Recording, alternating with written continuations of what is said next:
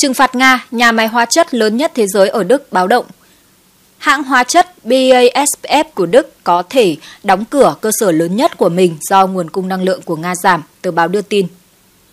Tạp chí Wall Street Journal đưa tin với lý do thiếu hụt nguồn khí đốt dồi dào và giá rẻ của Đức có thể buộc phải ngưng sản xuất tại nhà máy hóa chất lớn nhất thế giới ở Ludwigshafen. Theo báo cáo, BASF đã sử dụng khí đốt tự nhiên của Nga trong nhiều năm để sản xuất điện và làm nguyên liệu cho các sản phẩm chế biến thành kem đánh răng, thuốc và ô tô. Tuy nhiên, nguồn cung cấp khí đốt của Nga ngày càng cạn kiệt đang chứng tỏ mối đe dọa đối với trung tâm sản xuất rộng lớn của công ty, báo cáo cho biết. Nhà kinh tế cấp cao của BASF Peter Wetterheis được WSD trích dẫn cho biết cắt giảm sản lượng tại địa điểm này sẽ là một nhiệm vụ to lớn. Chúng tôi chưa bao giờ thấy những tình huống như thế này trước đây. Thật khó tưởng tượng. Với diện tích khoảng 10 km vuông, khu phức hợp Ludwigshafen bao gồm khoảng 200 nhà máy chiếm khoảng 4% tổng nhu cầu khí đốt ở Đức, khoảng 60% nhiên liệu được sử dụng tại nhà máy dùng để tạo ra điện, trong khi 40% còn lại là nguyên liệu để sản xuất các sản phẩm hóa học bao gồm ammoniac và acetylen. BASF ước tính rằng nếu tổ hợp hóa chất tiếp tục nhận được hơn 50% thể tích khí tối đa, các hoạt động có thể được tiếp tục, nếu không công việc của khu phức hợp sẽ phải dừng lại. Đầu tháng này, dòng khí đốt của Nga đến Đức thông qua đường ống Nord Stream dưới biển đã bị cắt giảm tới 60% do các vấn đề kỹ thuật phát sinh từ các lệnh trừng phạt của phương Tây đối với Moscow. Để đối phó với cuộc khủng hoảng, chính phủ Đức đã đưa ra giai đoạn báo động thứ hai trong kế hoạch khẩn cấp về khí đốt 3 cấp độ. Berlin đã cảnh báo rằng họ đang phải đối mặt với tình trạng thiếu nhiên liệu trầm trọng trong bối cảnh dòng chảy từ Nga đang giảm dần. Khủng hoảng lương thực thử thách sức ép của phương Tây với Nga. Phương Tây muốn tìm cách tăng trừng phạt Nga, song đối mặt với lựa chọn khó khăn khi khủng hoảng lương thực toàn cầu trở nên trầm trọng. Tại Yemen, giá bánh mì tăng 35% chỉ vài ngày sau khi Nga phát động chiến dịch quân sự ở Ukraine vào hồi cuối tháng 2. Các nhà máy xay bột mì ở Lebanon gần đây phải dừng hoạt động vì thiếu nguyên liệu, buộc các tiệm bánh phải đóng cửa. Ở Kenya, dầu ăn trở nên vô cùng khan hiếm. Trong lúc Mỹ và châu Âu lên kế hoạch áp các vòng trừng phạt tiếp theo nhằm vào Nga, nhiều người ngày càng lo ngại rằng hệ lụy của chúng đang khiến nạn đói toàn cầu trở nên nghiêm trọng hơn và sẽ không dễ dàng đảo ngược. Các nhà hoạch định chính sách đã và đang nỗ lực đảm bảo chuỗi cung ứng và đảm bảo an ninh lương thực cho các nước đang phát triển, nhưng chi phí năng lượng tăng cao cùng với xuất khẩu ngũ cốc bị hạn chế ở Nga và Ukraine đang đe dọa một số nhóm dân cư dễ bị tổn thương nhất thế giới. Phần lớn ngũ cốc và phân bón trên thế giới đến từ Nga, Ukraine và Belarus. Nga và Ukraine xuất khẩu khoảng 30% lúa mì và 75% dầu hướng dương cho thị trường toàn cầu. Tổng thống Mỹ Joe Biden tháng qua cho biết ông đang lên kế hoạch xây dựng loạt kho chứa tạm thời ở biên giới Ba Lan để hơn 20 triệu tấn ngũ cốc đang mắc kẹt ở Ukraine có thể được vận chuyển bằng đường sắt đến châu Âu và xuất khẩu ra thế giới thay vì đi qua Biển Đen, nơi Kiev và Moscow cáo buộc nhau giải thủy lôi phong tỏa. Tuy nhiên, ông Biden cảnh báo nỗ lực này sẽ mất rất nhiều thời gian, trong khi nhu cầu lương thực của thế giới ngày càng trở nên cấp bách. Trong báo cáo triển vọng kinh tế toàn cầu mới nhất, Ngân hàng Thế giới World Bank cho hay gần một nửa dân số ở các nước thu nhập thấp đang phải đối mặt với tình trạng thiếu lương thực, vốn thường dẫn đến bất ổn xã hội. Nguy cơ suy dinh dưỡng và nạn đói đang gia tăng ở một số khu vực, Chủ tịch World Bank Davis Manpas hồi đầu tháng cảnh báo. Người dân ở các nước nghèo thường chi phần lớn ngân sách hàng ngày cho thực phẩm và những chi phí đó đang tăng lên – theo Tổ chức Nông lương Liên Hợp Quốc FAO, giá thực phẩm trong tháng 5 đã tăng gần 30% so với một năm trước do giá ngũ cốc và thịt tăng cao. Phân bón cũng tăng mạnh do lệnh trừng phạt của phương Tây đối với Nga và Belarus.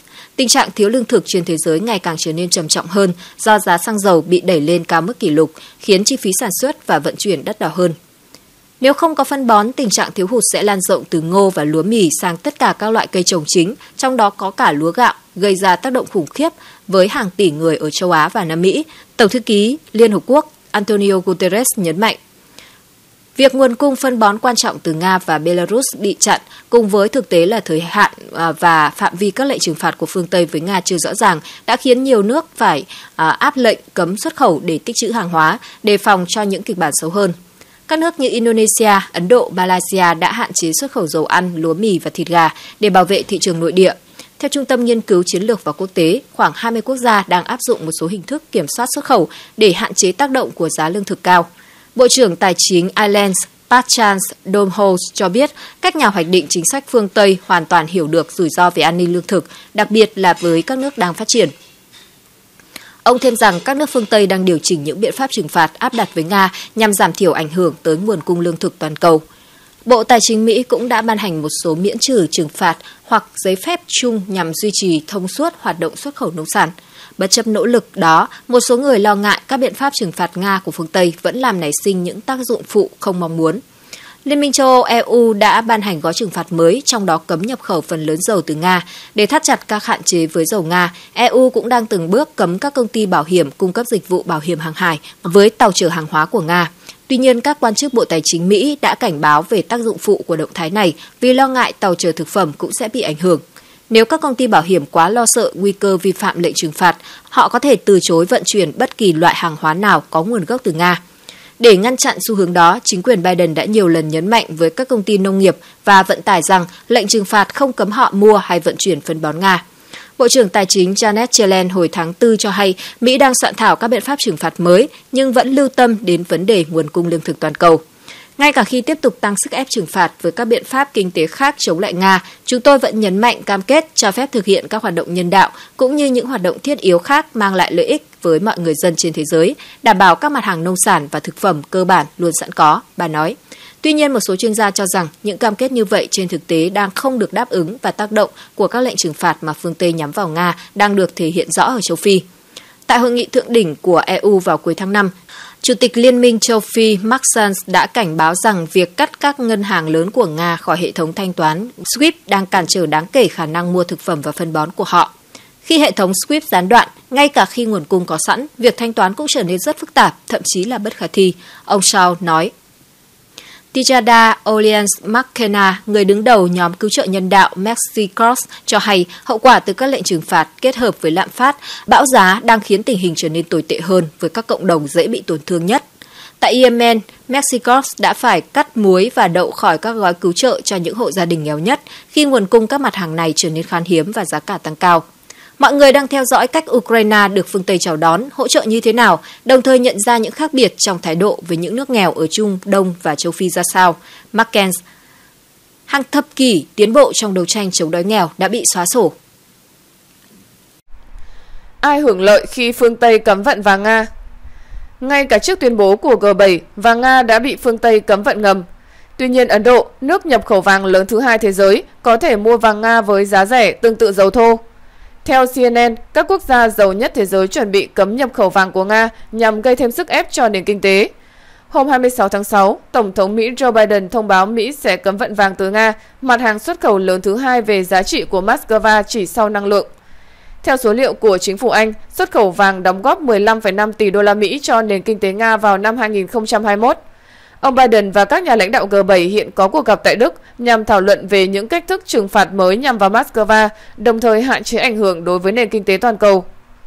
Nga mất nguồn thu tỷ đô Cùng nhau, G7 sẽ thông báo cấm nhập khẩu vàng của Nga, mặt hàng xuất khẩu chính mang lại hàng chục tỷ đô la Mỹ cho Moscow. Ông Biden tuyên bố trong một bài đăng trên Twitter hôm 26 tháng 6. Hôm 26 tháng 6, Thủ tướng Anh Boris Johnson cho biết lệnh cấm sẽ ảnh hưởng nặng nề đến Tổng thống Nga Vladimir Putin. Ông khẳng định những biện pháp mà G7 công bố đánh thẳng vào giới tài phiệt và gây tổn thất cho cỗ máy quân sự của Nga. Lệnh cấm vận sẽ có quy mô toàn cầu, chính thức loại bỏ vàng Nga khỏi thị trường quốc tế, ông Johnson tuyên bố. Theo Hội đồng vàng thế giới WGC, Nga là quốc gia khai thác vàng lớn thứ hai chỉ sau Trung Quốc với sản lượng chiếm 9,5% toàn cầu. Năm 2020, Nga xuất khẩu lượng vàng trị giá 19 tỷ đô la Mỹ, trong đó 90% giá trị vàng được bán cho Anh.